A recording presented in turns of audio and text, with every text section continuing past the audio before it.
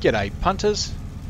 Today I thought I would have a look at uh, War Thunder. Some of you may know of this game, others may not. Anyway, we're having a look at in particular a quick overview of the CAC Boomerang Mark 1 with CAC standing for Commonwealth Aircraft Corporation which gives a hint at where this plane was actually built. It's actually an Australian made built fighter plane of World War II it has the historical distinction of being one of the only fighters in history to have never shot down an enemy aircraft. There's probably many reasons why it didn't, uh, but some of the main reasons were that uh, most of the frontline duties were handed out to the P-40s and Spitfires that were in Australian service. However, this thing did distinguish itself quite well as a ground attack aircraft. Okay, well let's take off. Another beautiful thing about this little baby She's not that fast. She's a very sweet, manoeuvring, handling aircraft. As you can see then, didn't take much to get her off the ground, which always helps when you're being attacked. So she has a short takeoff, and she actually has quite a short landing as well. And you can see that uh, this particular plane has a radial engine. That's one reason why uh, planes of this type with radial engines had a shorter, snubbier, rounder fuselage uh, compared to, say, things like a Spitfire that had more of a nice pointy nose. This particular plane is armed with 4.303 caliber machine guns, which I'll let, uh, let rip now. There we go. See the uh, traces see the uh, expense cartridges for them. Also, you can see there's these two long stubs, or stubs, two long things pointing out of the wing. They're actually two 20mm cannons. Uh, let's uh, you can see the difference in the traits of two. There's the machine guns, and the cannons, the big red ones.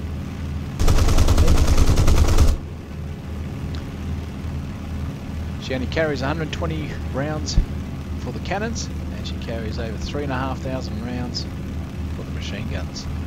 So obviously when you're playing this game, ideally try and keep your cannons for enemy aircraft because uh, cannons really hurt planes. Keep the machine guns for strafing ground targets, particularly armoured cars and AA guns. Uh, also with artillery. The other thing is you're not going to really touch tanks with this thing. Um, you may might damage some light tanks, but basically leave the tanks to guys with bombs or rockets. Okay, let's have a look. Let's see what she can do. Oh, look at that. It's a nice little, little couple of G's there. As you can see, I'm not actually that high, so maneuvers like that in some planes you wouldn't do. Like I said, this one's actually quite a sweet little handler. So you can actually do quite a lot. Also, I'm not using a joystick, I'm using a mouse and keyboard. Those uh, the purists out there that are cringing right now. Good thing about War Thunder, they actually cater for a wide variety of players. So I'm quite happy doing this. I do have a joystick, but I don't have a full flight sim set up. I just find it easier to use the mouse and keyboard since uh, I don't have to worry about getting the joystick out. Okay, we fly straight down to the ground here.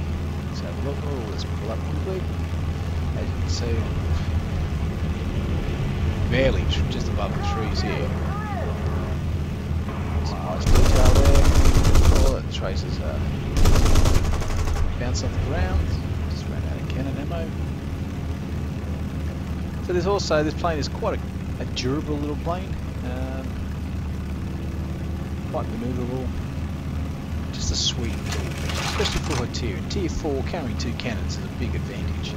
Um, a lot of cannon armed aircraft which are a little bit higher. Advantage in that respects. It's one, of course, uh, it's one of my favourite planes in the game. There are some other nice planes. But the Boomerang is one of my first go-to aircraft. Also, the boomerang is in part of the British tree, so, so basically the British tree is like a combined Commonwealth tree. Um, it does say British, but you do have the Australian planes. There's also uh, the Hudson bomber in there. The Hudson or the Baltimore? One of the two. Um, has Australian markings on it. When you're landing, you want to come in under 180k but you don't want to come in too slow that you lose your lift because then you just uh, lawn dart it. Okay, so let's drop it down. Here we go. Sweet little touchdown. Slowly put the brake on, slowly bring the tail down. Oh, there we go. So if you're not careful, you will flip the plane dart.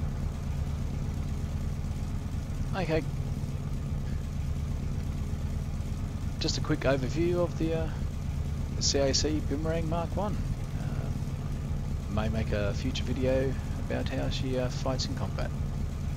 Okay guys, yeah, thanks for watching and see you around like a result.